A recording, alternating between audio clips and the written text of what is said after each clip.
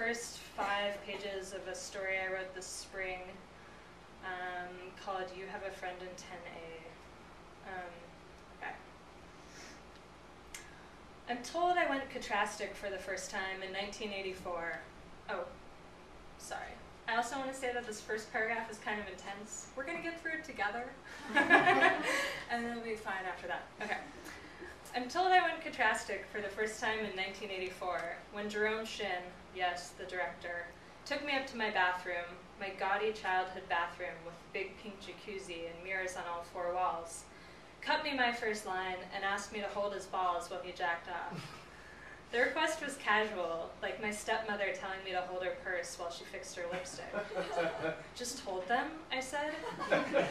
yeah, he said, pulling down the top of my dress and looking skeptically at my half grown tits. Just hold them.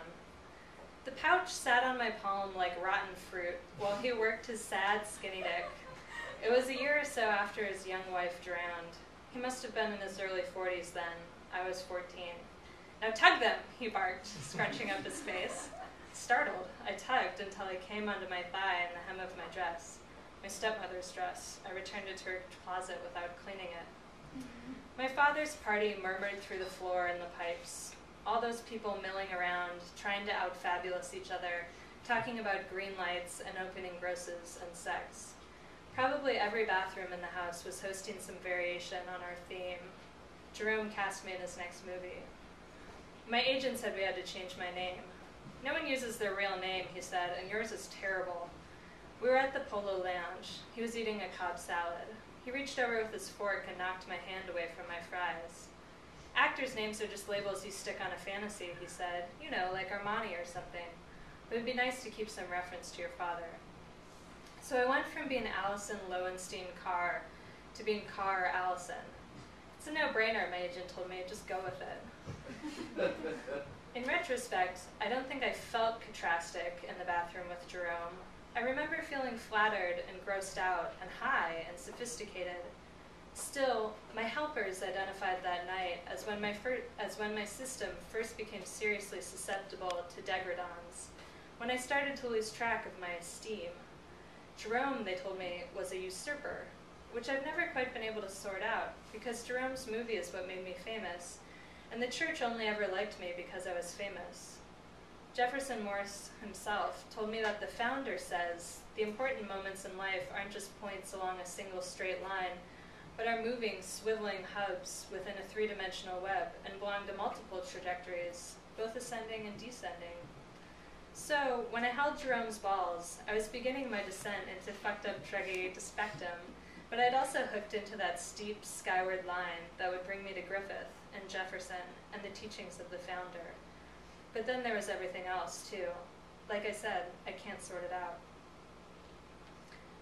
Businessman, computer businessman, Steelers fan, Asian grandmother, clean cut guy who's probably a pervert, sullen punk kid, black guy with big gold jewelry, retired couple with too much luggage, harried couple with too many children, Texan.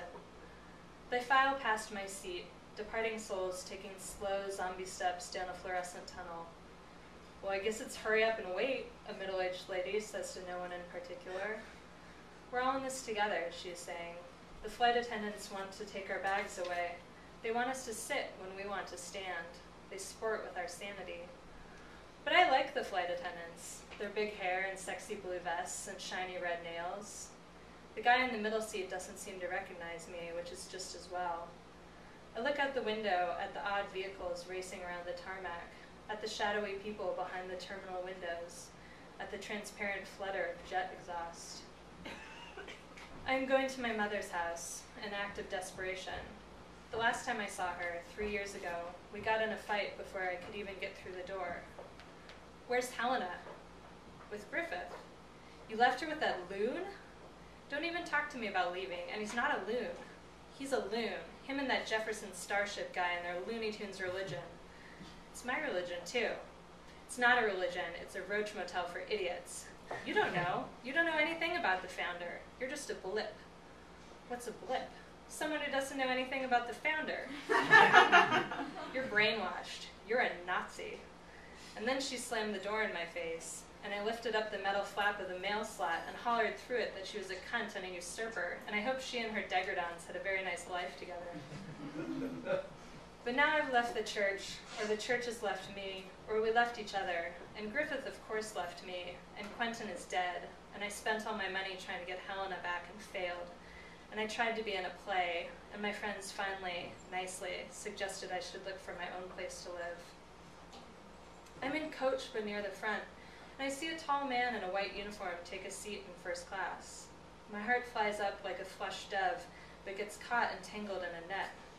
If I were hooked up to an orograph, it would be going crazy. I remind myself that Quentin is dead. Most everyone's settled down and buckled up now, except for a paunchy guy who's trying to break the plane apart with his oversized suitcase, his round belly assaulting the face of the woman in the aisle seat. Sweat stains in his armpits. A flight attendant comes and splays her red nails across the suitcase as though calming a frightened animal. She lifts it down and takes it away. The pilot comes out of the plane's little locked brain and shakes the hand of the man in white, bending down, nodding and somber as they exchange a few words. There are all kinds of stories. The church bought me for Griffith. He's gay. I'm gay. I was impregnated with the founder's frozen sperm. I was impregnated by Jefferson Morris. I was impregnated by Quentin. I was never pregnant at all. Of for only a couple of months when my agent called, all excited. Griffith Jacks wants a meeting. Wear something classy, don't swear, be sugar sweet, and try not to act like a junkie. What's the script, I ask. Who the fuck, who the fuck cares? Aren't you coming? He wants to meet you alone, they specified. Griffith is not tall, but he wasn't as short as I expected. He moved around his office with the same gymnastic energy as the commando squirrels I watched out the window at Cloud Vista, while they leapt and dangled and corkscrewed, raiding the bird feeders. He has small, active hands, and I imagined an invisible tail whirling behind him as he poured me a glass of mineral water, then darted to the window to point out a jet taking off from Santa Monica. I've been thinking about getting one like that myself. What do you think? Do you like it? then fiddled with papers on his desk, then flopped down beside me on a long white couch and unleashed his grin. Everyone knows Griffith's smile, but you can't really understand its effect until you're confronted by it in person. You lean toward those teeth, swim upstream, struggle closer to the origin of all that dazzle, that mm-hmm. gush of stardust. Suddenly, I was Suzanne in Tin Can Palace. I was that bitchy lawyer in pleadings who doesn't want to be charmed by him but mm-hmm. is. I wasn't a washed up 20 year old with a pill problem. I was inside a glorious sphere of light. I was a glorious sphere of light. You, he said, you are special. I can tell.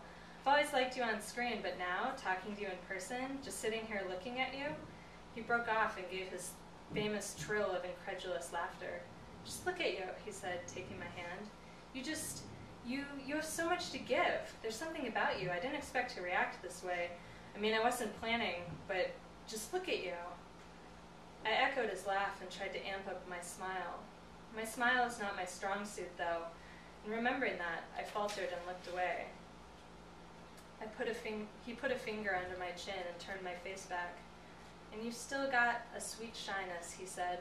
Great, really great. I'm just so happy to meet you.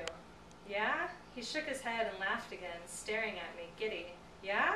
Am I crazy here? Are you feeling this car? Because I'm feeling something, something big. I had to turn away again. On a side table stood a framed picture of a young man in a white uniform with gold braid and rows of colorful ribbons. Is that your son? I asked, knowing it was. Quentin was the product of Griffith's first marriage to his high school sweetheart. After her, he married an ethereal movie star, and after her, he married a model from Ecuador and after her, he married me. Quentin, yeah, my boy. He sprang off the couch and picked up the photo, staring at it for a moment before he dropped back beside me, closer now, our thighs touching. I felt thrilled and twisted. I felt something big. I felt like I was a shred of myself caught on a sharp hook, but also like I was a gust of wind. I felt desperate to get high, and certain I would never be, want to be high again. I didn't know he was in the Navy, I said, looking at Quentin's face, which was a distorted version of Griffith's square bullet of masculinity. He's not. Griffith took my hand. Listen, Carr, do you ever feel like you need help? What do you mean? Don't act like a junkie. Don't act like a junkie. do you ever have doubts? Do you ever worry about rejection? Do you feel like there are people trying to bring you down? I thought about the blandly handsome men in suits who had greeted me in the lobby and ridden with me in the elevator to Griffith's office. They had asked after my father and stepmother by name. I said they'd moved to Hawaii and opened a Zen center, but the men already knew. With a pair of synchronized winks, they mentioned an interview I gave when I was 17, in which I had said I wanted to marry Griffith. I just got out of rehab, I said to Griffith, so, yeah. his dark eyebrows squeezed his forehead into a rift of concern. His gaze fried me like an ant in the light through a magnifying glass. Just when the tension was about to break me, he said softly, I can help you.